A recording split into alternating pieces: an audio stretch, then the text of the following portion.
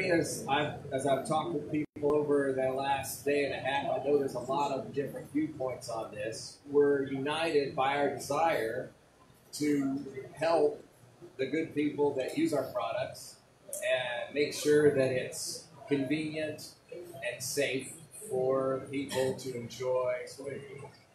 So I will introduce our panelists, uh, starting with Richard Falk. 25 words. 25 words. 25 words. So I'm not uh, literally in the uh, industry at all. I actually was a pool homeowner that 15 years ago had a problem with my pool and uh, pool water chemistry related and uh, just got dove deep into the science of it. I went on to pool forums and discovered things that were different from what uh, industry was saying and then just got deeper and deeper and then eventually ended up in the uh, 2015 in the ad hoc committee uh, reporting uh, stabilizers as part of the Council for the Model Aquatic Health Program. So I'm Roy Vore. Uh, I'm a PhD microbiologist and working in this industry since 1991. So a lot of the things we're talking about, it's like I do in the lab every day, and I've run a few pools all over the entire country in this. Uh, so it's like well, I've got almost 30 years doing this kind of stuff. My name is Ellen Meyer. I work for Innovative Water Care. I'm a chemist, and I've been in the water industry for about 30 years and the pool industry for about 20 years. And um, been on the cyanurate um, ad hoc committee, and so we've been deeply immersed in the cyanurate issue for um, for a while now. So hopefully we'll have some good information for you guys. I'm Rudy. I'm a pool guy.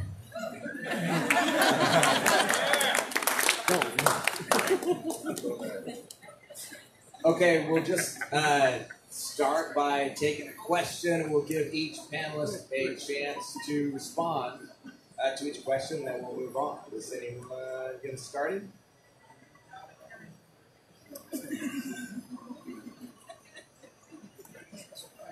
Um, okay, so I have a two-part question because the first part of my question is pretty straightforward. Um, have any of the panelists personally conducted research on CYA?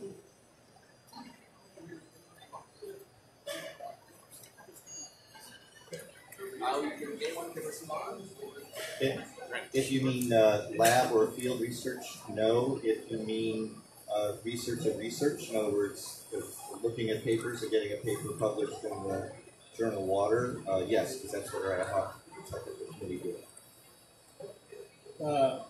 I've done an awful lot of pill studies over the last few years. Recently, more focusing on just pure bleach than anything else. But as Richard points out, the entire ad hoc panel spent about four years reading the old historical literature. So there's not much new coming out on this. This is old data we're talking about. As far as bacteria studies, um, no, um, know, looking through the literature.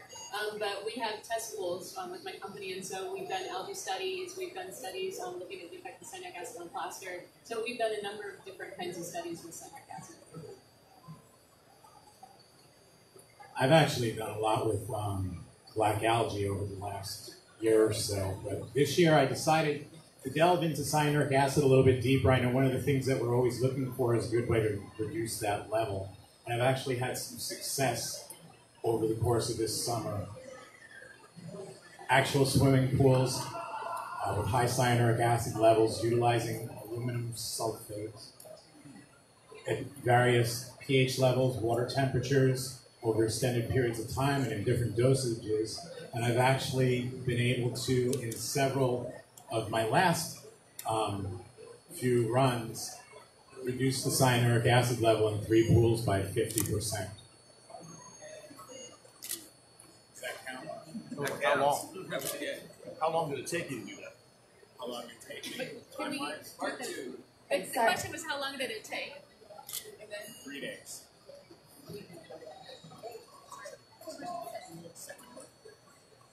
Um, what do you believe to be the single greatest issue um, with a high cyanuric acid level?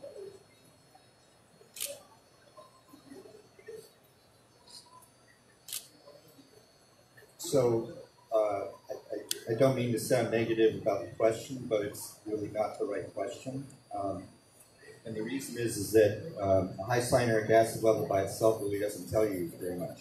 Um, and the reason is is that uh, the what the way the pool chemistry works in terms of having uh, the active disinfectant and oxidizer in the pool and algae prevention. Also, the oxidizer, swimsuits, skin and hair oxidizes, and all that. It's not related to the cyanuric acid by itself. It's related to the free chlorine and cyanuric acid ratio, the relationship between them, because of the way the chemistry works. Most of the chlorine in pools that have cyanuric acid, most of the chlorine is 97, 99% in most cases, is bound to cyanuric acid and is, I wouldn't call it, it's not inert in the sense that it is available in terms of being released when needed, but in terms of active and instantly being there to disinfect and prevent algae and so on, um, it's a very small percentage that's there. So uh, you can have high cyanuric acid levels if you have a higher free chlorine level proportionally. Uh, and so at least in terms of disinfection and oxidation and other things like that, um, there's not an issue with it. Now, from a practical side, from a, this actually Rudy would be better at that answering this part of it. In terms of practical side from pool operators, depending on the type of pool and so on, they may have more issues with the higher CYA from um, if something goes wrong point of view in terms of how to deal with it. But in terms of just operating when things are in good shape, um, you can have high, high cyanuric acid if you have higher free chlorine proportionally with it. From the chemistry, there's no problem with that. Uh, from the microbiology viewpoint, you're dealing with this, uh, typical bacteria and giardia in there. The ratios that we're talking about now in the Model Aquatic Health Code, 2 ppm and 90 ppm of CYA, are somewhere in that range. The data from the CDC says that's not posing an issue right now. And so, from the practical point of view, we're talking about practical point of view of disinfection. The real, the real world data says there's not an issue right now. But if you are talking about cryptosporidium, it is not a CYA issue. If you are running a public pool, it doesn't matter whether you've got CYA in that public pool or not. You better be running an ozone system or a UV system because that's the only way you're ever going to control crypto. So from the from the chlorine sensitive germs, the data says we're fine with our current practices. Crypto, different issue. And that's another task force that we'll be working on. Uh, yeah, the accidental fecal release. That's a, that's a different issue. Uh, Corey's just saying that we're not having issues with the current. Um, as far as the outbreak statistics, those are coming from CDC, but in order to be included in those statistics, a lot of things have to happen. And um, just, I'm not going to ask for people to raise their hands, but just think about how many times in your lifetime you've had diarrhea. A, a number of times, probably, right?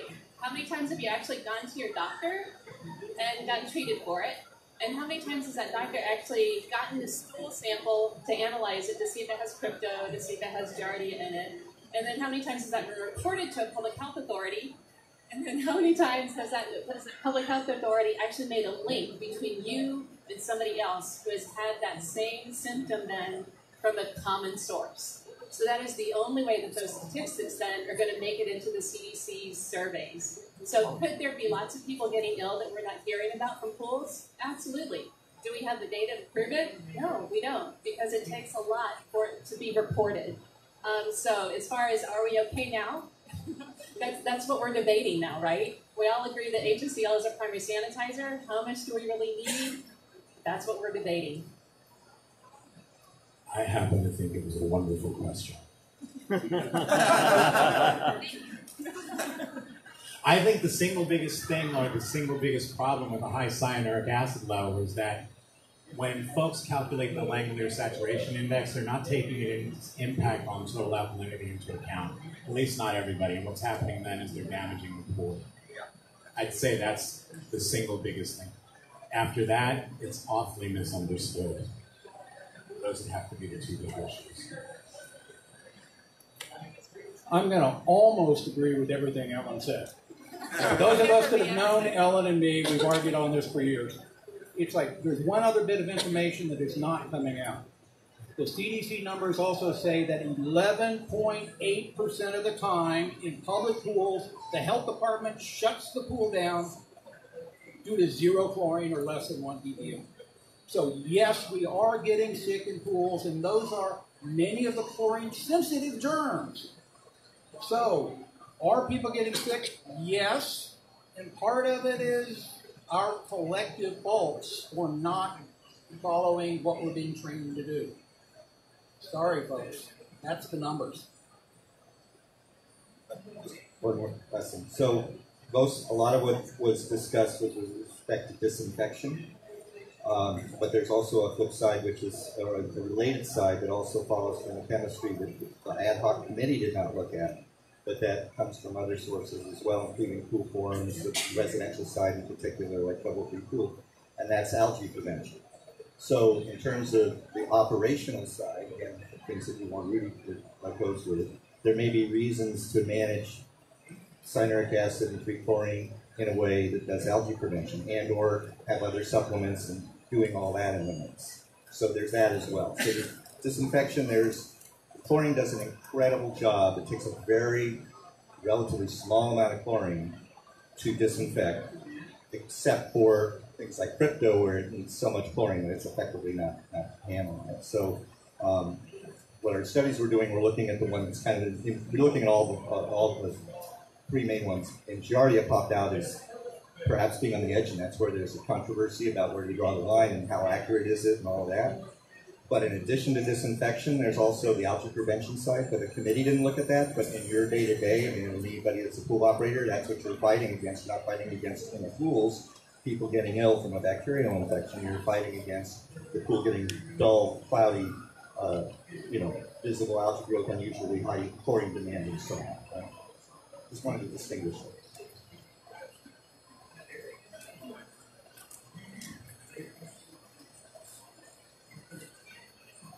Um, I've read, read a little bit of information about using melamine to get rid of CYA. Do y'all, y'all address that, or do you have any information to share with us? Yeah,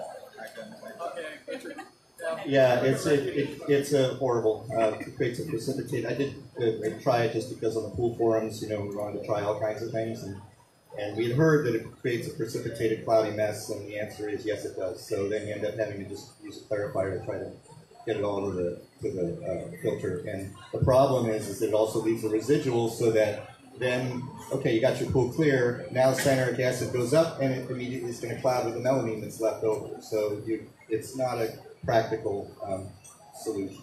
But the lum is very. Let's get. So here's the thing: when you use melamine, um, you add that to water that has cyanuric acid in it. We all know it forms a new compound, melamine cyanurate, which is completely insoluble. So what we're doing basically is we're pulling it out of solution, which is the cloudy mess that he spoke about. But instead of going with a water clarifier, here also you could go with a coagulant like aluminum sulfate, just drop it all out to the floor of the pool, and then just back it out to waste and not have to worry about any of those other things. The big issue with that is the cost. It's a one to one ratio, and melamine's expensive, and it's going to take a lot of it to make it come down. That's why I started doing the experimentation with just the coagulant, just aluminum sulfate, and experimenting with the different pH and so on, and temperatures and times and parts per million of aluminum sulfate alone, and to find a better way, something that was um, cost effective that we all could use. I got yelled at too many times for trying it. It's like I remembered a few years. Uh, yeah, I don't want to go there. Rudy, just a quick question from the, on the alum. Is it higher pH that's more effective with it? No. Lower. Interesting.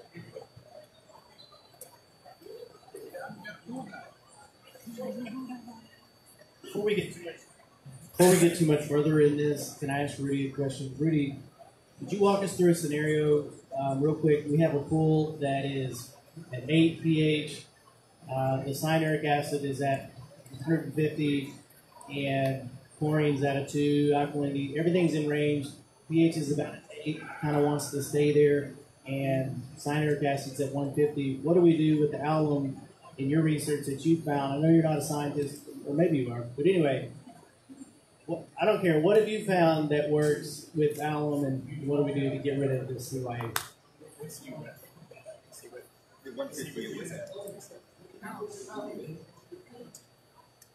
I don't know if I'm ready to put that out just yet until I tested it further, and then I'll put out everything. If you follow um, my blog site, or if any of you guys happen to be in our group on Facebook, hey, he said TFU first, didn't he? Boo! So, if any of you happen to be in that group, I'll publish it there and put it out. I want to run a couple more tests, um, take it a little bit further, but then I'll put it out step by step in detail. My goal is not to make money on it, but just to share with everybody because that's what I want to do. I just want to make the industry a little bit better.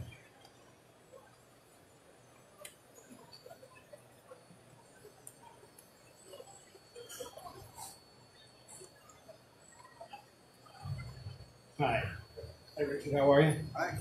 I'd like to take Rudy and Richard to answer this question, and Ellen and Roy, because one manufactures trichlor, one manufactures cal hypo. You're out of it, okay? So, here's my scenario. Richard and Rudy. Take, take the average. Richard and Rudy, you are responsible for a pool in your backyard. It's 50,000 gallons.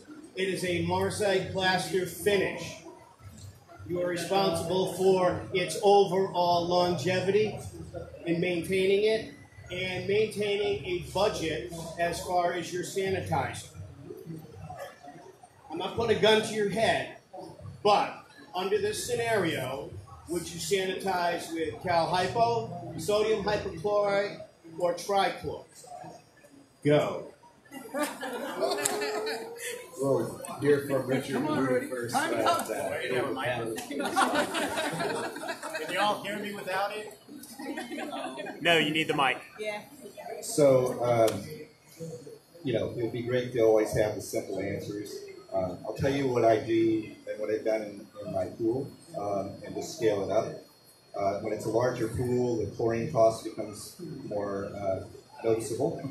So, um, first off, uh, I lower the phosphate level because if you use one of the, there are different products on the market, but if you use one that's cost effective, the higher concentration, which is two on the market that are like that uh, then it's reasonably cost effective and get the phosphates down. You have the phosphates lower, the algae grows more slowly. That'll let you have a lower chlorine level. You have a lower chlor- active chlorine level. You have a lower active chlorine level, less gets reduced in sunlight. I'm assuming it's an outdoor pool. Um, and that means less chlorine gets used up because of the residential environment. It's not a high bather load situation where the bather load. it is a heavy bathing load. Okay, see, it, it, the answer depends on the scenario. Sorry, that's why I asked. Oh, okay. So then I'll, my answer is going to be different then. All right. So so in the in the high bather load scenario, um, it's mostly about the bather load, not about the sunlight loss.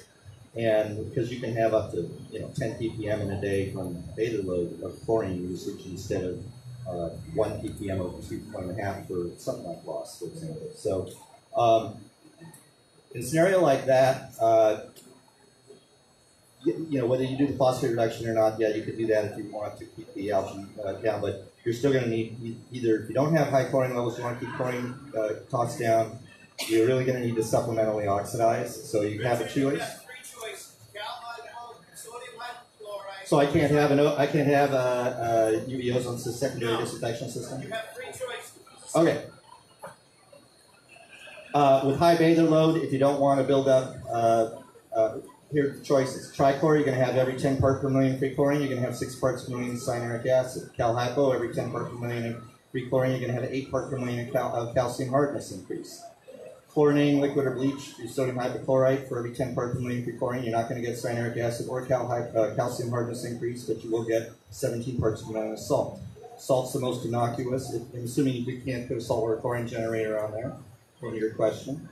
So salt's the most innocuous. Do that if I don't care about the hauling of, you know, 40 pounds of chlorine, of, of, of four gallons of uh, every time I want to have that. Uh, if I have a tanker come in and fill up a big tank with sodium hypochlorite, then there you go. You're in charge of this pool. What's your like I just I said, the least innocuous is going to be the hypochlorite that doesn't add calcium or uh, uh, cyanuric acid to it. I'm going to answer. Um, you know, but are there other considerations? I don't know the cost differentials of it, or the equipment room, the size of the tanks, and all that sort of thing that you're going to have to have for it. That might be an issue. if you if those are issues, then the next would be the cal hypo because you can tolerate more calcium, about two and a half times calcium in the pool than cyanuric acid, all else equal. Um, and then least would be the trichloromelase scenario. But you're going to want cyanuric acid in there to reduce, you know, loss from sunlight. So it doesn't mean you don't have any cyanuric acid, and also you don't want it too harsh on the bathers. But um, from a day-to-day, ongoing, yeah, the sodium hypochlorite's the least side effects, than, then cal hypo, and then uh, the trichlor. And then dichlor is even worse because of the cyanuric acid even more. And that's just those are chemical facts in terms of the buildup, right? Bleach. Yeah, I just. I was telling you why. He was setting, he was setting you up. Who do you want to get Richard Given your answer is bleach, would you run one part per million bleach, uh, free available chlorine, or four with the right amount of cyan, the right corresponding amount of cyanuric acid? What's the right? In Florida, are these people? Is that what your question is? Is what is the right amount of cyanuric acid, or what's the right amount? Are you asking what the ratio should be?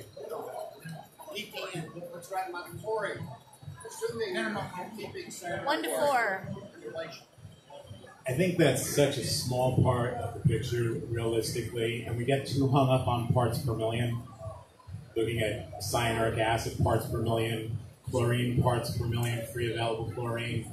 One of the things we're not considering is ORP, which is a better measurement of the efficacy. Will you smack that guy? it's a better measure of the efficacy of the chlorine that's in the water. There's a lot of other factors aside from cyanuric acid that can drive ORP down. There's a lot of things that can help it to go up, and I really think that we should look at all of them. But as far as the chlorine level that I'd like to keep in a pool, what's my bather load? Load. Bather load, people. Heavy bather load? Okay, heavy bather load. So then I'm going to go at the top end and keep my pH on the low side, and then I'll use what cyanuric acid level I have to use to maintain my chlorine level at that um, desired result. Every pool is different. It takes a little bit of experimentation. It's not cookie cutter. These are not fish tanks filled with tap water in a lab. These are outside. These are things that ducks crap in. These are things that people stick their butts in. It's butt water. It really is. I mean, there's weather, there's trees in the yard, all of those factors. If you start treating pools like they're cookie cutters, ultimately you're going to fail on a large scale. I lean more toward uh, treating the pool as an individual, a lot like they do in the personalized medicine trend. You evaluate the patient, and that's what we do. We're out there on the site. We need to be able to make those decisions. I don't know of any pool that's been able to maintain a constant chlorine residual at exactly one number the entire time. Um, and so my advice would be, you know, if you're going to have heavy bather load, beginning of the day, put it at the top of the range, right? And then when your bather's done in, it's going to go down, and you just try to maintain at least that minimum. Um, and as far as federal law is concerned, we're a chlorine manufacturer, right? Um, and so we're regulated of what we can put on our labels, and it says one to four parts per million is what we can put on our labels, and so um, and that is federal law. Um, so that's what I would recommend is obey your federal laws and um, maintain one to four parts per million. I'm going to agree with Rudy on this one, and almost again agree with Ellen on this one. It's like we've all been run pools. Run the pool the way that keeps people safe. You got to have enough chlorine in there. And if you've got that big party that jumps in there at two o'clock in the afternoon, whether it's a thousand gallon pool, and the, the basketball team or the softball team jumps in that pool, and you're trying to run at one ppm, you're crazy as a loon, people, and we all know that you've got to run that chlorine level up, and then you got to run it by the right pool. And it's like in, in addition to that federal law, you got that state law, and if the the Department of Health is telling you what to run, you better be following them because they're the ones going to be shutting you down, not the US EPA. So, uh, you know, I, in addition to wanting to just bring science as much as possible into the pool and spa industry, uh, I also want to just have uh, regulators do the right thing. And so, as part of that is this EPA rule. And the EPA rule is really uh, unduly restrictive. and it is what it is right now. But the right thing to do is get the floor up uh, to give a lot more leeway in terms of the free chlorine level that's available in the pools. Because the most important thing is, as Roy says, is it not to get the chlorine down to zero, whether it's in a pool or a spa. And if you need more to have uh, more buffer, more leeway to go with, fine. As long as you're managing the ratios of cyanuric acid, chlorine, and so on, you can keep the pool safe, keep the pools algae free, and also have plenty of buffer of chlorine that's not going to run out. So that's really critical. Um, the I'll just make one little comment on the ORP because that is something I, I disagree with. Um, I do agree that I do ORP is useful as a measure for what other things are going on in the pool. Uh, you have a lot of reducing agents and so on, but it's also affected by hydrogen gas bubbles from saltwater chlorine generators. It's affected by things that a lot of them they're not um, related to the disinfection capability or oxidation capability of chlorine. So it's a it's a careful tool. If you know what you're doing, you can use it, but you know, uh, for me personally, I think measuring with your test kits the chlorine and cyanuric acid, and then Rudy brought up a really good point. Don't destroy your plaster.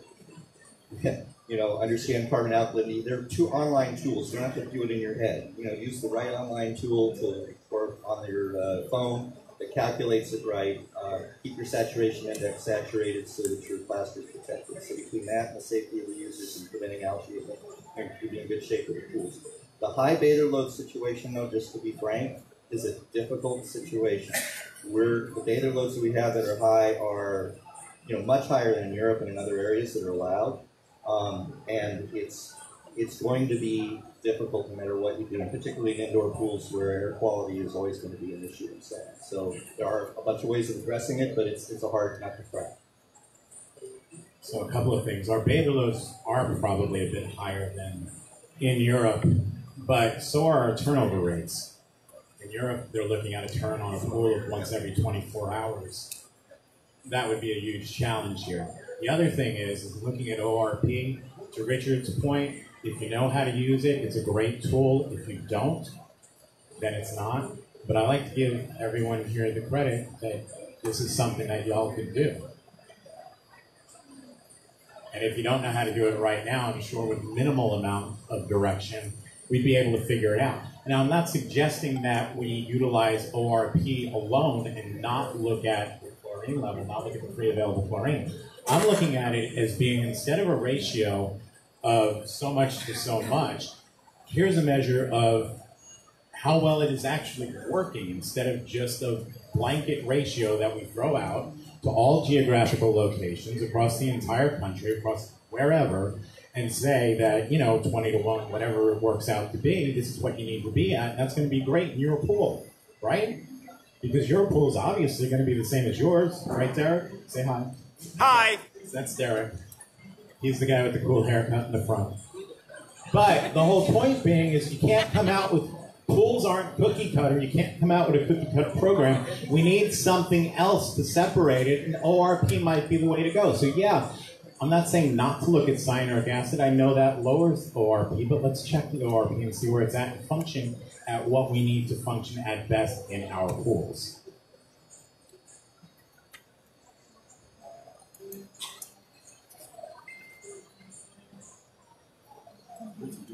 As a retailer and a service provider, what am I telling my customers that come in with high CYA levels? Are we draining and refilling? Are we compensating with additional chlorines? What's the protocol for that? Good question. So the answer, similar to what was said before, it depends on what, um, largely depends on that. The, the short answer would be if it wasn't the EPA limit part of it, it would be, yeah, in the short run, raise the free chlorine level relative to cyanuric acid will give you more runway. At some point, you're going to run out of, you know, the cyanuric acid gets too high, you're going to run out of runway, and you'll have to talk about drain refill or other method, or the Rudy method when he publishes it to reduce the cyanuric acid or what have you, right? So uh, now, if you, but you're going to have to decide, are you going by the state regs, which many of them are 8 to 10 ppm, uh, some are low though, some are even lower than the 4 ppm of free chlorine, or not. Um, residential environment, you're going to be easier to deal with that way because there's less, I mean, just being frank here, less lawsuits, less, you know, there's less going on in that environment than in the commercial public side. But that's you're gonna have to decide because Ellen's right. I mean, you know, it's technically. I mean, I read the labels. It's a violation of federal law to exceed this thing. You know, that's so. so that's just what it is. it comes back to one of those things on what is that pool there? It's like you're if it's a public pool, you're under the state code, and most of them will say what your maximum level of CYA is going to be. And uh, in Georgia down there, it's like the health department will shut you down if you're in violation of you know alkalinity. And so it depends on where you are, what that limit is going to be. But you know, in uh, there's not any good way right now to reduce cyanuric acid levels. Other than out in California, they got those RO uh, RO units out there. But then you got the same problem with bleach. You get high TDS levels, you get running calcium, hypochlorite, you're getting calcium. You have to manage for the type of disinfectant that you're using. Everything's got its good side, and everything's got its bad side. And it's like you got to treat the pool and the chemical like us. We're people. I think the treatment's already been covered pretty much. Um, I like to cover prevention. So if you can prevent your cyanuric acid from getting high using unstabilized sanitizers, uh, that would be the way to go. So you don't have to worry about draining, you don't have to worry about doing RO or, or doing the magic Rudy treatment with alum. I think Richard should refer to it as the Rudy treatment on TFP. so here's the thing. Here's the here's it's residential customers that you're talking about, okay? So even with your commercial pools, your public pools, hotels, apartment complexes, whatever, you guys are. Re- I mean, it's it's more than just this because you're also looking at cost, cost to you, cost to that customer.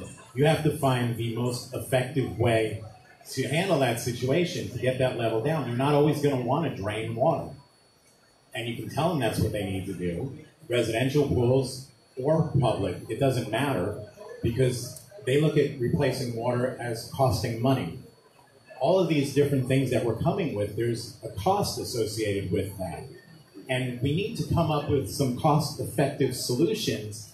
And that's how you relate to your backyard customer. That's how you relate to your hotels and apartment complexes. I, I mean, I was out there. My cyanuric acid levels in the pools, they demanded they use trichlor, which I was fine with if that's what they wanted to do. That's cool. No, I shouldn't stay. But, but, you get to a point where they need to drain the water. They have to approve that. You can't just do that on your own as a service person, right? So you got to get them to do that and you tell them and you tell them. And realistically, sometimes it actually takes the health official telling them that, hey, you have to drop that level or we're going to close you down before they're willing to do it. We're only going to do what we get paid to do. That's all we can do. And we can't absorb a lot of these costs ourselves either. So that's one of the things that I would challenge or task the industry as a whole with doing. If we're going to come up with these different methods, we need to come up with cost effective ways of implementing them before owning a pool just becomes too expensive a thing to do at all. Definitely want to grow the industry and prevent problems as much as we can.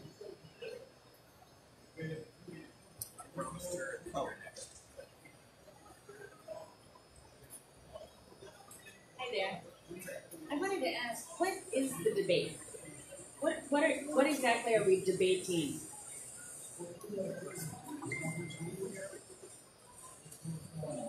What is what are we debating? What is the what are we debating?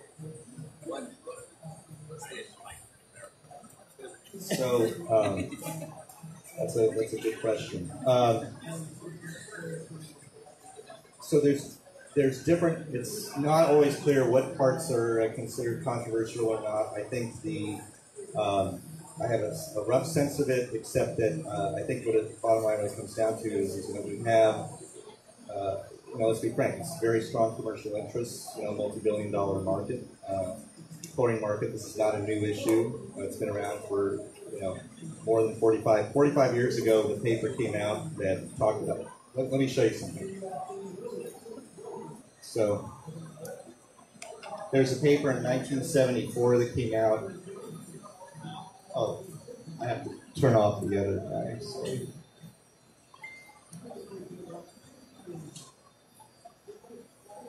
Okay, there's a paper that came out in 1974, which was a technical paper that defined what are called the equilibrium constants for chlorine and cyanuric acid. So it's basically the way that chlorine attaches to cyanuric acid, how strongly, and what are all the different chemical species involved, and all that. And that, and from that chemistry comes the uh, ratio of producing constant disinfection and so on. The constant hypochlorous acid, and other papers show that that's related to disinfection. Notice there's a couple of things to look at. First is this sentence. Now, what does that mean? What chemical methods for estimating free chlorine concentrations include chlorinated cyanurates as well? What that means is, is that the free chlorine that you're measuring in your test kits, all of them, whether it was the old OTO one or the newer, the, the uh, not that new DPD tests or the FAS DPD tests, or uh, those are all measuring the chlorine, all of it, including what is bound, not all, not not combined chlorine, but it's including the chlorine bound to cyanuric acid. So it's measuring the mostly measuring the reserve or reservoir of chlorine, not the active amount, not the part that's killing algae, killing bacteria, disinfecting, oxidizing skin, swimsuits, hair, outgassing, and so on. So that's the first thing to keep in mind. So most of the chlorine is this. Again, it's not inert, but it's not the main active uh, ingredient. Okay. The second thing is this point. point, and again, this is 1974, 45 years ago. Although chlorinated cyanurates serve as a reservoir of free chlorine, bacterial and the free chlorine that they define as free, they're talking about the not what we call free, they're talking about this part not bound to cyanuric acid. Bactericidal efficacy is more closely related to the relatively small fraction of free chlorine present at equilibrium. Therefore, the use of excessive cyanurate in an overly zealous attempt to reduce photolysis, that's the breakdown of sunlight, uh, chlorine from sunlight, um, uh, may repress free chlorine to the point of suppressing germicidal activity. For the same reason, the continual addition of chlorinated cyanurates as a source of chlorine is not recommended because this will lead to a buildup of cyanurate concentration. Again, this is 45 years ago. So the debate is that trichlor is an incredibly uh, convenient product because of its slow dissolving nature. And it's not having uh, the main side effect of it being the um, cyanuric acid buildup. And it is also acidic, so there's also a pH adjustment. But for a pool service person, only visiting once a week, you know, great. Dissolve slowly, roughly five days. You can go a week, put more in a, in a tab that's uh, in, a, in a, a floating feeder that's popping down or an inline chlorinator. That's the main reason it's existed for so long. I mean, notwithstanding that they're, the, you know, advertising and other things that companies have with it, it's not, that's, let's be frank, it's not just because of good advertising it exists. It exists because it has that strong benefit of a slow dissolving product. It's practical. You don't have to add chlorine in the pool every day or two. For the hypochlorites, as a general rule, notwithstanding the, the you know some newer Cal Hypo tabs, and then there's also Cal Hypo feeder type things with dissolving and then pumping and such. They're the uh, for many of the hypochlorites, they have to be added every day or two, unless you have a pool cover or something keeping really low chlorine usage. So that's why there's this big dichotomy. You got trichlor building up cyanuric acid, but it's incredibly convenient. You've got the hypochlorites that are, as a general rule, inconvenient or less convenient, but they have less of the, they don't have cyanuric acid, they either have calcium hardness buildup or they have just the salt buildup only. Um, and that's, so the debate is um, where do you draw the line and all that, and you've got different businesses competing with each other, right? So they're going to say what they say. But um, for me, that's where the debate is. What I don't want the debate, so the policy where to draw the line, let them and you and everybody figure that out. I'm fine. Okay, I may have opinions, but I mean that's it's there's all these trade-offs and balances to do. What I'm not so fine with is, is that the core science behind it, that defines the chemistry, is very solid. And that can be used to help manage the pools effectively because you understand the ratios and such, and you understand that cyanuric acid buildup is an issue, you manage the pool of free chlorine going up as well with it, that's beneficial. There shouldn't be debate. So that's that's just my opinion of where the debate. Uh, to follow up on what Richard just said, the model that's come out of the last four years of work is a very, very powerful model. what it shows is there shouldn't be any E. coli outbreaks. There shouldn't be any Pseudomonas outbreaks. It's like, what we're trying to figure out is, is there another issue on there? And after four years, the data is not clear whether there is an issue in there or not on some of the other germs like Giardia. So our issue is, do we have enough data to modify what we're doing today? I think that's where the data, uh, and where that line is right now have we gathered enough data? And after four years, even the committee is struggling with what is that ratio. So the debate is, where is that line? And do we have enough convincing data to say there is actually a problem? I think um, we're all in agreement that we need to sanitize pools, right? So we're all in agreement on that. What level sanitizer do we need? Our active sanitizer in pools is HOCl. How much do we actually really need? So EPA says on our labels one to four, but what about HOCl concentrations? What do we actually need? If you take what's currently in the Model Aquatic Health Code, it's a maximum of 90 parts per million of cyanic acid with a minimum of 2 parts per million of chlorine when you have cyanic acid present. So the amount of HOCl you have in the water at that point is a little over 8 parts per billion of HOCl. That's not a whole lot of sanitizer in the water. So is E. coli killed really quickly with even small concentrations of chlorine? Absolutely. But we're also killing Giardia, we're also killing viruses, we're also killing lots of other organisms in the water. Um, our current recommendation from the committee is to do a 20 to 1 ratio of cyanic acid to chlorine as a minimum, a minimum for your chlorine. So that would mean that you have about 20 parts per billion of HOCl in the water. Is that even enough? Who knows? so, right, and so we don't have outbreak data, right, um, to, to really show what, um, you know, what is our driving force for change that just have to, you know, kind of do a reality check of, okay, is, you know, 8.6, you know, parts per billion of HOCl enough in the water or not? So somebody came up to me just before the debate started and said, Rudy, it's 2019. Why are we debating cyanic acid? Because none of us can agree on anything. And what we're ending up doing is we're confusing the heck out of people. That's what it is. A year ago, 100 parts per million was okay. Six months ago, we wanted our chlorine levels to be 7.5% of what our cyanic acid level was, right? And now, 20 to 1 is the ratio. So it changes. And we need to do a better job of all getting on the same page, but we also need to do a better job of accepting the fact that there's more than one way to skin a cat. I'm a dog person. but I'd like to I'd like to respond to uh, something that Richard pointed out really quick because the other thing, the other problem is, if it's out there and you look for it, you can find it. So he pointed out an article from 1974 that said cyanuric acid is a problem, and it affects the way that your chlorine works. Yet I found 1968 Carlson, Hasselbarth, and Mecke of the Water Hygiene Institute. You have to forgive my paper; they won't let me use the TV um, where they've actually proven that E. coli is destroyed within instantaneously, is their wording, at a redox level of 650 millivolts, and that expedites the higher the level goes. That was again um, World Health Organization, 1972. Again, standards for drinking water that an ORP of 650 millivolts in water water is considered to be disinfected and viral inactivation is almost instantaneous. Then again in 1985, James Brown.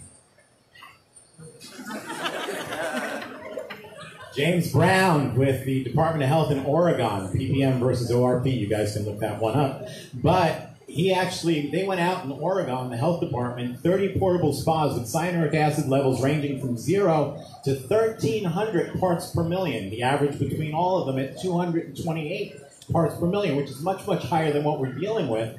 And what they tested for here, 650 millivolts or higher, knocks these things out instantaneously. They did point out with tougher things like listeria or salmonella, it does take 750 or better. Then I also just finally wanted to say, I've been looking at some of the numbers, and I know it, almost sounds like, you know, we're out there hurting people.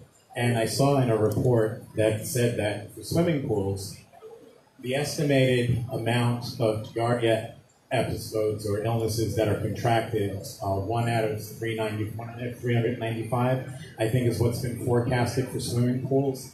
That works out to 25 out of every 10,000 people will contract Giardia.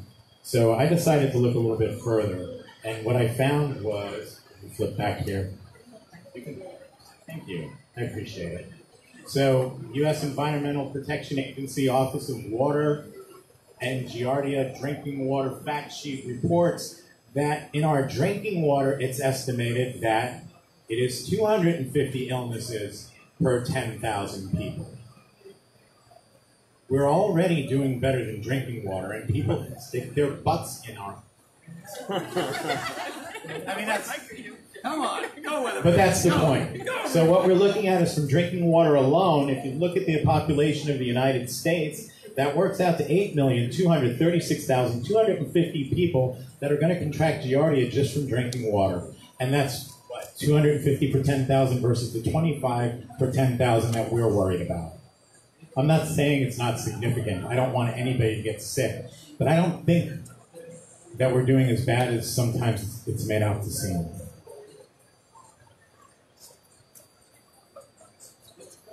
So, um, a couple things. So, I'm not going to go into the detail of it now, but the uh, uh, a while ago there was I did an extensive comparison analysis of ORP data from various studies and compared it to hypochlorous acid because I was wondering, well, how much is related? Is there something unique or different about ORP that makes it better? And what I found was, was no, it largely tracked the hypochlorous acid.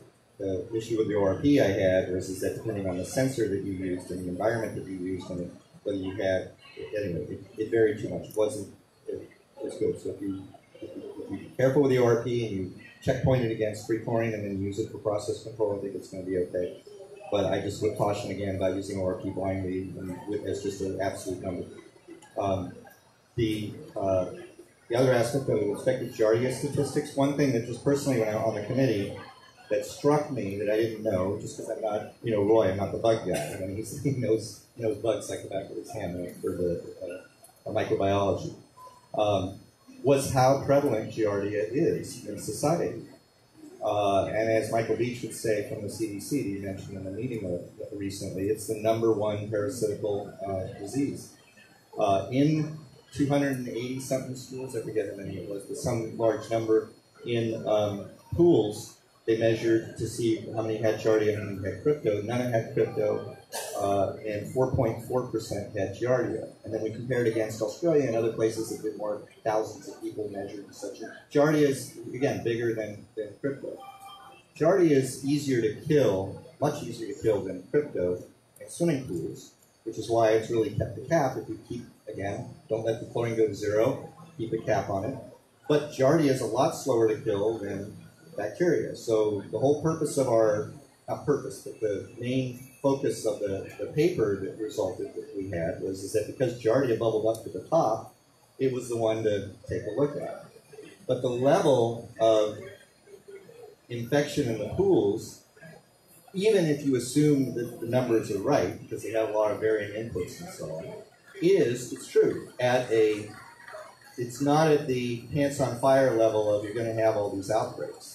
It's more at the low levels, are you, are pools possibly sustaining some portion of Giardia in society? And since drinking water contributes part of it too, there's the valid, you know, it, got to compare against that. And also compare against, as Michael Beach would say from the CDC, you know, the number one in his opinion is from the daycare centers. I mean, from a public policy point of view, if we want to really clean things up, let's get some hygiene in daycare centers. And it's not just the kids. It points out that the, the, the, the adults in the environment are also exposed to it and so on. So um, these are all valid, you know, that, that's all valid uh, uh, things to look at. And, and when you continue on talking on Giardia, look around the room. Everybody in this room has probably had Giardia multiple times in your life and didn't even know it. 80% of the time that you're going to be exposed to Giardia as an adult, it's going to be asymptomatic. You've already got antibodies to it. And so there's probably Giardia in the water. We don't know how much Giardia is in the water. So what we're really arguing about is what we've got is a. Uh, if you've ever tried to dig through Richard's spreadsheet that the committee worked on, Tom worked on it, Ellen worked on it, it's like just give up and call Richard because he'll tell you how to work it. Because I had to do it because it's really good and it's a, a very powerful tool. if we collect some more data while we're focusing on the E. coli, the Pseudomonas, the Legionellas, which are causing serious illnesses now, then we've got time to collect that data and then come back in and have that conversation. But until we're handling the crisis today, we're getting people sick because we're not maintaining at least one ppm. Look at the numbers. You're seeing it. Crypto, you cannot be controlling with chlorine. But the Giardia, you've all had it. Every, and it probably came from drinking water, but it, if you got a kid, I guarantee you it came from a daycare center too. Oh, Basically, it's all a matter of risk tolerance, right? Everybody has a different level of risk tolerance, which is why we're still debating this issue for the past four decades.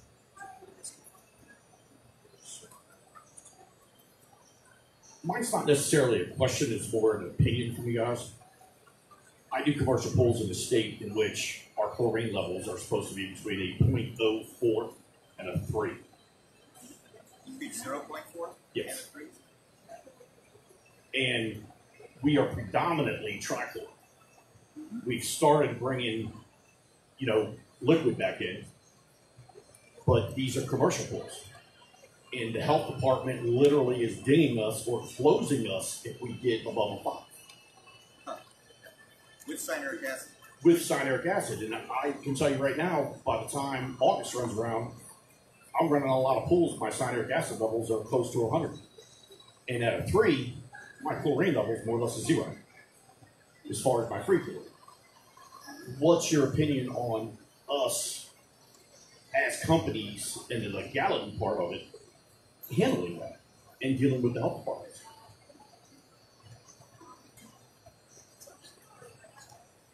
So I'll let them answer more. We, you know, the rules need to be consistent with the science. We have And not adopted, they have not adopted the model aquatic. no, I understand. I understand. So I'm going to let them answer the more practical side. Of what do you do with the constraints in your situation? From my point of view, is I'm more about just, just doing the right thing. So I want to get the rules set up so they're consistent and, and consistent with science, and that would that would give you more runway to work with. But until then, I'll let them tell you how to how do you deal with it with what you got. We've got a number of state codes that are just frankly out of date now. If you look at the Georgia state code, I mean, you're in DeKalb code. He, Now, I'm in, I'm in Nashville.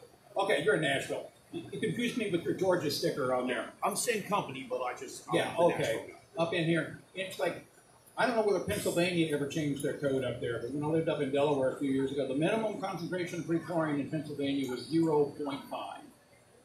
0.5.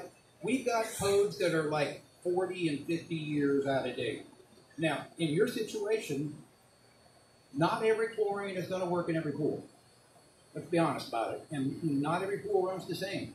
You got to pick a chlorine that you can operate within that facility. You know, and if you're running on trichlor and you're bumping into that, you might have to be doing water replacement. You know, I mean, it's like you know, your other But choice like go to bleach. before. It's like you said before, though, he said. Yeah. The HOAs don't want to replace their water. I mean, and unless the health department actually backs me up, Okay. it's a whole. I can't Here's an it. option for you. I know this person that lives not too far away from you. We need to send her in there to beat up your health department. Go get him, Ellen. Um, I'm not into violence, so I won't beat up your health department, but I do have the name of the Tennessee um, Public Health Department guy who is responsible for pools, and um, I can give you I'm his sure name I and to contact number later, um, Brian Mason. And, um, yeah, that, to change codes, it takes a long time to change a code. Um, because a lot of it is regulatory, right? And anytime you get politicians involved, it can just take a very long time. But we have to start somewhere, right? So if you're a member of PHTA, um, Jennifer Hatfield gives really nice summaries of regulatory updates um, that are occurring. And so when a code comes up for change, she will send a note out to everyone so you know that it's time to comment. And you can send in public comments and you can comment and say, hey, you know, we really need to look at this. And you give reasons why. And you give the science behind it. And you give the, you know, you gotta have science, right? You can't just say, I think it needs to change. And then in the meantime, I think that to use unstabilized sanitizer so you don't raise your cyanic acid level too high, so you can get away Sales with pitch three number parts two, per I'll million. point out. the problem, is, the problem is, is we we're just now getting a liquid chlorine back in the market. We didn't have it. Right, right. They could use it. She's pointing out how hot it could use too. Well, it what I would do in my pools where I had uh, cyanuric acid concerns in Florida, because we did have a maximum acceptable level there, we were a little bit more broad on the, on the amount of chlorine we could use. So I do understand where you're at. It's a catch 22. It's a cost factor. You can't absorb it. They're not going to pay it. I get it. So what I would do is alternate between the two winter months. But I take I don't know if you guys you're probably not open out throughout the winters. No, but they're all state loose. Okay. So we have to keep it clear. So what I would do is I would use trichlor in those pools in the summer months, and then either switch to cal hypo or bleach during the winter months, and then that way at least it increased at a much slower rate, and then extend that down time. As far as the chlorine level itself, if those are the restraints they have you under, which is what they are, um, I would have to try to see if I can get my customer and your customers, whoever's paying you is my customer, to take you on for more days a week because I know you're not out there seven days a week now. Majority of my pools are five, six, or seven days a week. Oh, fantastic. So good for you. That's great. Well, Yeah, we're commercial. it's not that way everywhere, that's for sure, but five, six days a week is fantastic. Then, like I said, I would go with back and forth juggling. It's just a fight. Yeah. It's a fight back and forth. Between I just wanted to do a really quick safety caution. If you're going to be switching back and forth between stabilized and unstabilized sanitizers, do not ever combine them in the same feeder. Um, really bad things can happen, so just be careful. Bad reaction. Very bad. Somebody here that doesn't know that. Uh, Yeah, an hour went by really fast. I made a deal with people that uh, they would uh, be up here being grilled for just an hour. Uh, and that went really quickly. I don't know if anyone's willing to stick around and chat any longer or. Uh, okay. Uh, and I also, I'll, I'll get to a question. I wanted to recognize Bob Lowry, who's sitting in the front row, who also contributed a lot of work over the years to this uh, to this whole issue. And, uh, good to meet you. Can I Uh, just speak yeah. to something on the drinking water? Um, Roger, you mentioned um, the drinking water statistics when you had that 250. Um, I what year was that from? Uh, forgive me for cheating. Oh, right, that was long ago, or? 1985. So um, I not only I, I'm from the state of Rhode Island and I regulate the public pools there. I, I deal with that. I also drink, deal with the surface water drinking rule, which essentially sets the contact times for drinking water, surface water systems relative to Giardia. So modern standards actually um, are protective against that. And then from groundwater sources, we, we set that contact time back based on um, that. I'm sorry, based on viruses because you would not expect Giardia in groundwater sources unless there's some sort of surface water influence. Accurately, Giardia was specifically mentioned in that study as being one of the things that were instantaneously taken out in 650 Oh, sorry. She has the microphone. Yeah. Gosh. It's almost like you sat there for an hour or so. Yeah, you know. So, Giardia was one of the things, one of the um, protozoa that were looked at in those studies. And what it said was, you know, eradicated, gone. So, no matter what the contact time is, if it's gone, it's gone. It doesn't matter if it was 1966 or 19, you know, 2096. It's gone is just. So, I don't think the information's that big. That's what I'm saying. So, so I'm gonna come sit here with you. Just stay over there, Rudy. This is where I belong. These are my people. so the pool versus drinking water now. But um, but the, the point being that modern drinking water treatment systems um, standards deal with that. Um, but the second thing I want to say is for the folks with the pool companies, being on the pool regulation side, I just went through the process of updating our regulation for public pools from 1975 to modern day standards. Yay! And I'm going to tell you, just contact your Department of Health people, educate them on current standards, give them the model aquatic, say this is what's going on.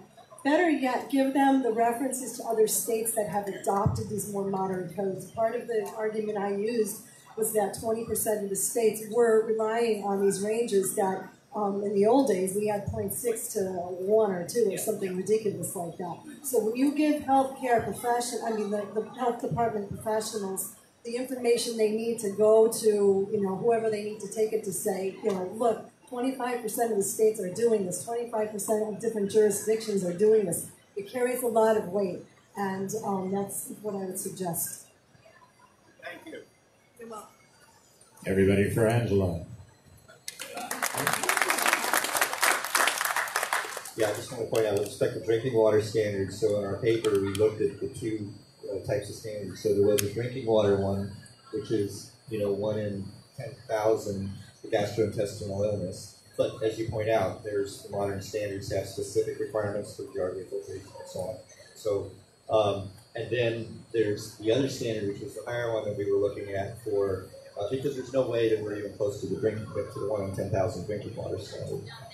For, for either Giardia or crypto from a regular just fecal sloughing. But the risk is levels are very low, primarily because of the amount that's drunk in a pool. You're not using it as your primary drinking water source. Um, but um, that upper line is the one for uh, if you're going to beaches and you know, lakes and streams and beaches and so on. And that's what that is. And there's a historical standard. Is it 36 per thousand? Is that right? So 36 gastrointestinal illnesses per thousand. So, you know, grasping at straws, since what standard do you use for swimming pools? Because there isn't one. For what's the acceptable risk of gastrointestinal illness infection for pools? So, you know, we had to pick something, we used that, and that's how we were doing something for comparison. So, um, so yeah, I just wanted to emphasize that the drinking water standard has been very tight. So anyway, um, as I mentioned to you, and I'm not sure everybody heard, I did misunderstand which one you were asking about the reports. The um, EPA drinking water report I did was by 2K. So not yesterday, but not 40 years ago either. Right. You know, when we talk about modernizing our, our practices, let's talk about a little gap that we've got. It's called the U.S. Environmental Protection Agency. The current version is OPPTS 810-2600, which was previously called DISPIS 12, and that was published on April the 23rd, 1979. So what did they change between 1979 and four years ago? They fixed two typos. One of them was they left a period out, and the other one is they truncated something and didn't have a letter at the end of a word. Those were the two substantial changes from the EPA since 1979. Thank you, EPA, for helping. Yeah, and, so, and, and, related related to that specific standard too. So there's a massive inconsistency in the standard with respect to the what they call the laboratory efficacy. It's a really tight standard, and then the field study, much looser, more realistic standard, right?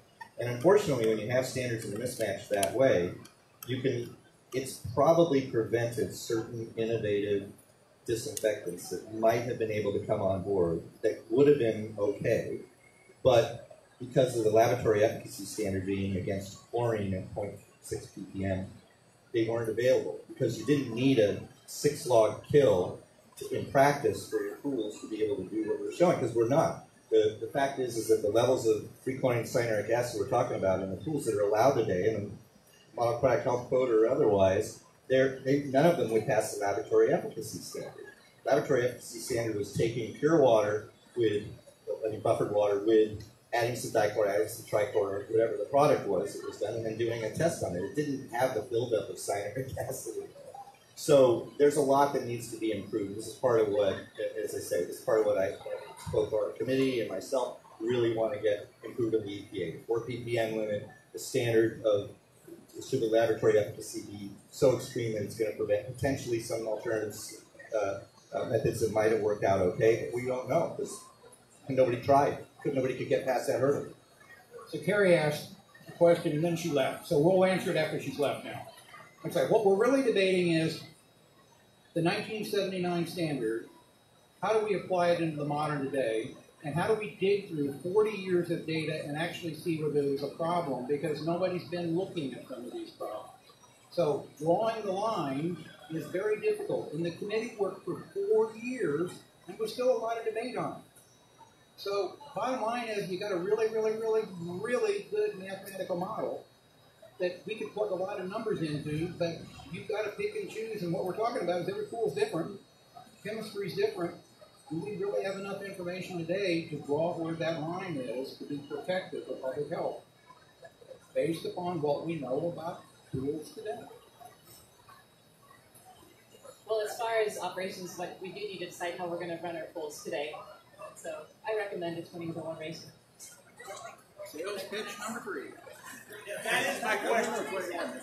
Richard, what is the Model Aquatic Health Council, Code Council going to do, going to recommend in the near future, or Yeah. Yeah. in terms of a ratio between sanitary Right.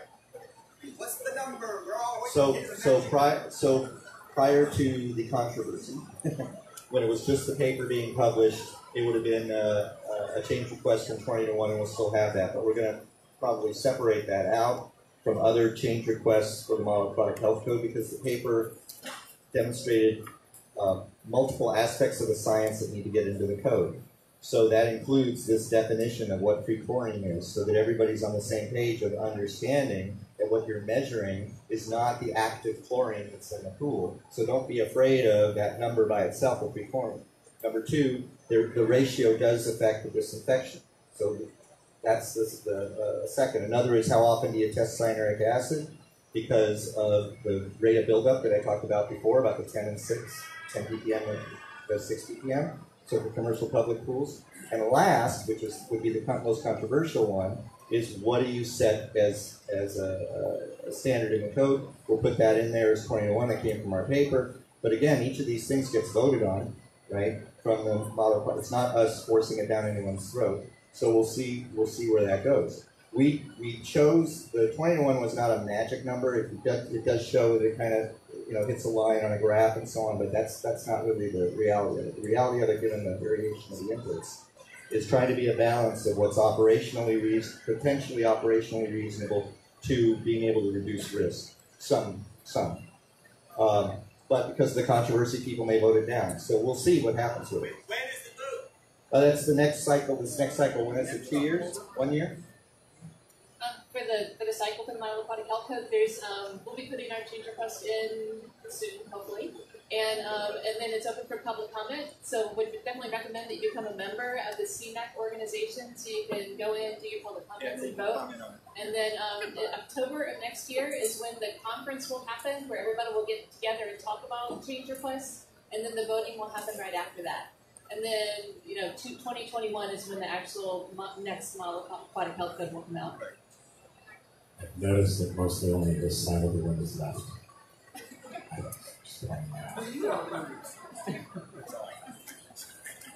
I think we have time for one more. Yeah. Thanks. I just wanted to clarify when you said that the ratio of 20 to 1 achieved disinfection, was that, how are you measuring disinfection? Are you measuring it via ORP or some other? No, it's a. Yeah. So, uh, actually, what I'll do is I'll just, I'm not going to go in and give it in detail. I want to put up the one um, graph that makes it easy to, not graph, but uh, block diagram. From the paper, the beginning. There it is. Right. So it's a it's in, it's a model that takes this this part down here in the lower left is that chemistry part that we were talking about about the chlorine, free chlorine, cyanuric acid, but also temperature and other factors and stuff, but mainly free chlorine, cyanuric acid, and pH, and how that affects the hypochlorous acid, which is the actual active disinfectant that does all the uh, disinfecting and killing of bacteria, viruses, protozoonoses, and so on. Um, the upper left here is the fecal to, you know, how much shedding there is. and uh, butt, butt wash. Okay, that's the technical term.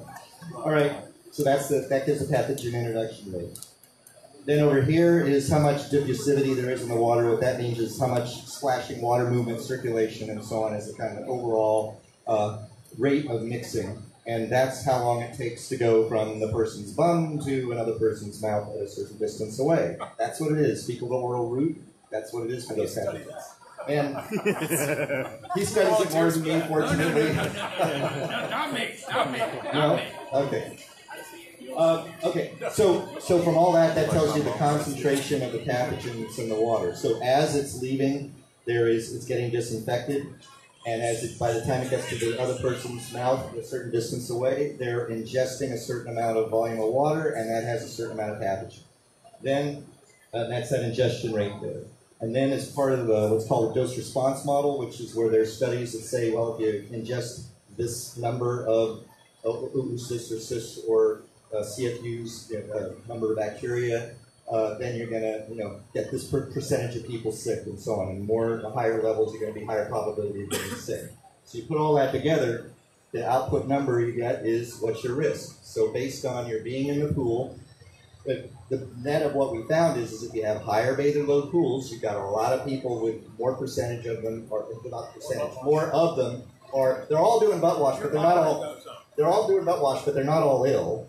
But the higher, but a certain percentage of them are, so the probability goes up, and that's the net of it. Higher bather load, pools are there's no question. Higher bather load pools are higher risk.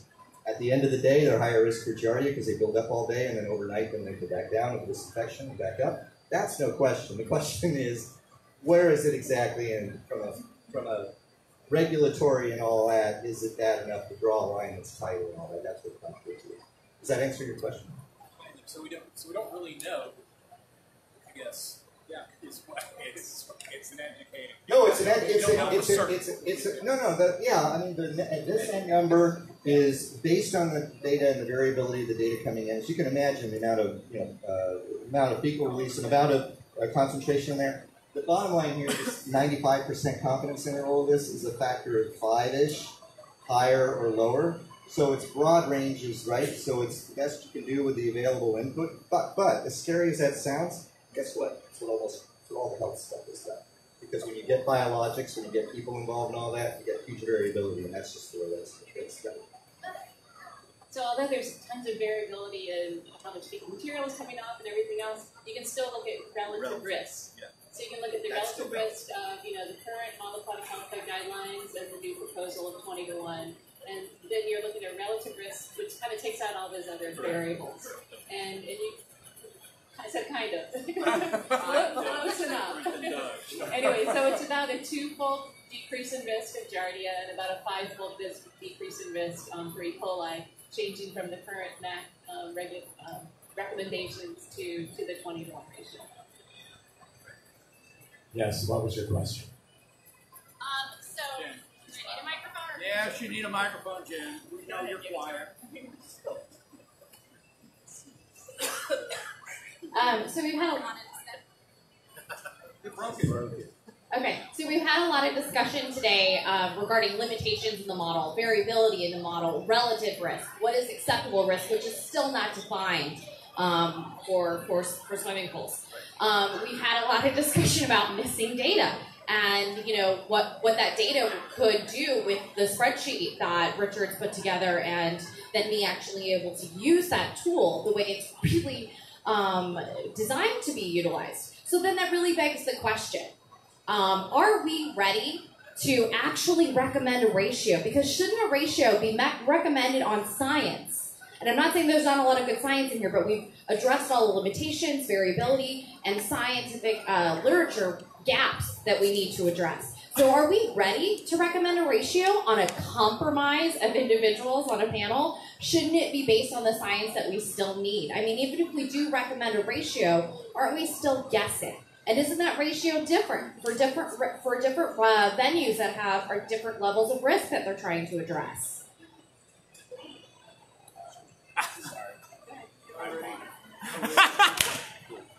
I think that, I mean, that pretty much reiterates the stand I've had. Every pool is different. This is a guess. That's like, where do you live? What state? Missouri. Missouri. Okay, so if you were to move, or if I live in Florida, so if I was to move to New York, there's less of a chance of me being eaten by an alligator. This is the same thing. If you move from anybody from the Northeast, if you move to Florida, your odds, Rhode Island, if you move to Florida, your odds of getting eaten by an alligator increase exponentially. That's what we just said. Um, we do have science as far as that 20 to 1 recommendation. It is a, a compromise, but there's science behind it. And we will never have all the data that we really want for all situations, for all the individual pools, for all the different things. And so, but based on what we know currently, are we ready to make a re- recommendation of what the current science is showing us? Sure. And that's 21. So, not being as facetious, I think that as long as we're looking at other factors, like I suggested earlier, such as ORP, where we can actually measure the efficacy of the chlorine in the water, I think establishing a ratio is fine. I think if we leave it at just the ratio without adding that, then it's all over the place, and you're correct, it's a guess. It has to have a means of measure. And it comes back to what Jen just said in there. It's like when you look at the data gaps, we have people dying with Legionella right now. We have people getting sick with E. coli. We've got people getting sick with crypto. So we just spent an hour talking about something that we are debating on. Should we be focusing on something that is making people sick today that the numbers are solid on, while we're working on getting the numbers so that we can use that model more effectively? That's my point. And Richard, he's the king of spreadsheets. So, so the um, the good news with the model is, is that it's something that can be reused or or modified to handle accidental fecal releases, for example. So the next thing in our committee will look at that because what this what did come out, with, there were some surprises for uh, what we discovered here. One was is that we didn't know going into it. At least I didn't know. But the, but the regular fecal sloughing, crypto not an issue. Wouldn't show up. I mean, it's way low. Giardia is high enough that it wouldn't show up outbreaks, but it might be something that sustains it. But crypto is much lower. So what that means is, is that the AFR, uh, the statistics that we see for outbreaks for crypto, aren't coming from just even the highest bather load pools.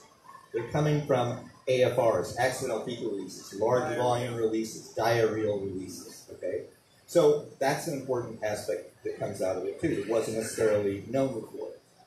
This modeling can be used then for the AFRs, which we'll do next. That's our next charter for, for what we're going to look at. So it's not, I don't consider any of the, necessarily what we, you know, any of what we did was necessarily wasteful. And then also the other part of it is the front end part of the model, which is the chemistry part, which doesn't have all this variability aspect of it. and It's much more clear. Um, is very useful to understand and keep and keep clear and something can talk about um, and used and reg- it's a regulatory tool as I showed before. Last but not least is, is that and I don't want to be take too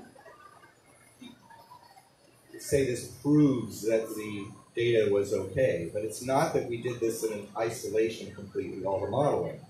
At the end, we wanted to compare against some real pools. And we did find a, the best study, unfortunately, it's in China, not in the US, but it's still the best study that had 30 pools with over, you know, uh, over 60 samples done, and they used real big 10 liter uh, volumes of water for the Giardia and the Cryptos. They did a, a, lot of things, and they did it at the end of the day. I mean, they almost checked every every box that we want. They didn't measure infectivity because hardly anybody does that for Giardia and the Crypto, unfortunately. But other than that, uh, we had something to compare to. So we ran it. It was in the ballpark. Doesn't prove that the model is exactly right, but it does give us some sense that we're not just you know off the deep end. And quite frankly, when we were first doing this work, we did use a different input uh, for data of fecal sloughing from a different source, and the and it blew up the model. It wouldn't match something like this at all. It turned out it was from Gerba and it was shower data, and it was way high for the children data. I mean, way high. And then the the good news is, is that when a model's good enough that it shows when there's a mistake in the inputs, that's pretty good, and that's what it did. And so then we looked at the source and we said, oh no, these were showers with children. Then you looked at the ages from the original source. It said down to 18 months. Okay, anybody with toddlers knows, and you know you got a, a dirty toddler, and what are you going to do? Clean them up before you go in the shower? No. So they're measuring a lot. Okay, so that's it. Okay, so we said can't use that. Then we went on a search to find a more suitable study that was done at poolside, didn't have toddlers, did have children, some children, but mostly was adults and, and had it at poolside. So we cleaned that up. So the foundation that we've done, I think, is you know is pretty pretty reasonable and can be used for other AFRs for crypto. I'd like to do this for spas as well for the Legionella, given that how, how important that's been. And that's another, you know, that's a higher bather load situation in general, but it's also biofilm and, and uh, uh, other aspects. So this can be used for that as well. So, I mean, not as is, but we can make modifications to do it. So I think it was a lot of good work that was done. Even if the final answer of whether it's 20 to 1 or not, whether that gets done or not, there's a lot of foundational work that I think is, valuable. Uh, we should give a big round of applause for this very excellent forum. The panelists were fantastic. Uh, thank you for coming. If there are people with some further questions, you can try to wrestle these people to the ground uh, before they get out. Thank you. We need to shake the hand of the pool